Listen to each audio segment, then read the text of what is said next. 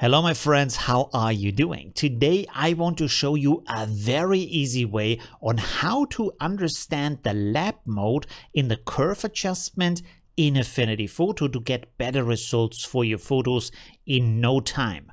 My name is Olivio, I'm a professional designer and I want to thank all of my patrons who support me and make these videos possible. If you enjoyed this tutorial, please leave a like because this really, really helps my channel and I want to invite you to join my Facebook group with over 4,000 active members where you can post a result of this tutorial and other tutorials, ask for feedback and other questions about photo editing all right, let's get started with this tutorial. When you adjust a photo, and this is, by the way, this is how it originally looks when you download it from Unsplash. I will link this below the video too.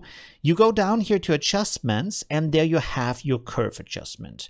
And if you know this adjustment, you know that this is automatically going into RGB mode as it says down here, where we have our master channel, which is for brightness, darkness, and then you have the color channels like red, green and blue. But we also have the lab mode, which is set to feel more natural. And in here, we have something that is a little bit strange because it says lightness and then it says A opponent, B opponent, what is that? I want to show you a very easy way to understand that. So I've created here a gray rectangle that will help us see the colors a little bit better. So lightness, of course, is to make it brighter or darker. Now, when we have the A opponent, and I push this here up, you can see that the picture is getting magenta.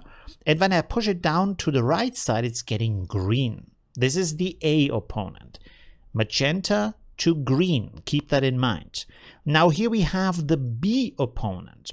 Let's see what happens here. I push this up, it's getting yellow. And I push it down, it is getting blue. So the B opponent is going from yellow to blue. Where have we seen this before? Well, actually, if you go here to adjustments and open up white balance, you will find exactly that. Going from blue to yellow in the white balance, and then going from green to magenta in the tint. So this is actually what A opponent, B opponent are doing. I would think naming it like that would make it a lot clearer, but now you know, and now you have a secret weapon on how you can quickly adjust your images. So let's hide the rectangle here, open up our curve again, and like I said, we are in the lab mode. So we can adjust the lightness a little bit. So you see here, this is a little bit dusty in the background, a little bit foggy. So I want to bring a little bit more contrast in here, make everything a little bit darker. So let's pull down over here until it feels good like so. Maybe over here also a little bit to the right side and that already looks pretty nice. Now here is the interesting thing that separates the white balance from the curve adjustment. Because what we can do here, especially with the B opponent, because here I don't want to change the tint, that's good.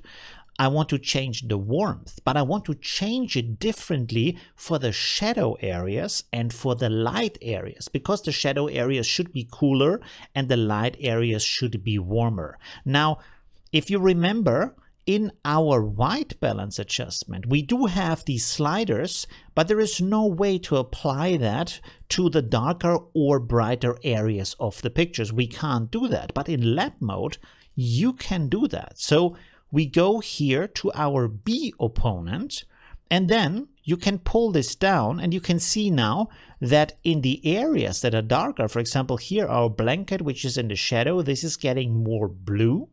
And then up here, top right side of our square, this is where the brighter colors are living. I can push this up and you can see now that the landscape is getting nice and warm. So let's find a value that feels good. Like for example, this one. And then let's see here with the shadows, let's push this a little bit lower because I want to have this blanket here feel nice and cool. Everybody likes a cool blanket to sit on that on a hot day. So you can see that with these little tweaks, we have adjusted the image very easy and quickly. Thank you very much for watching this tutorial. If you enjoy this and want to see more tutorials like that, think about subscribing to my channel and even hit the bell button so you get notified when I upload another video. Thank you very much and see you soon. Bye!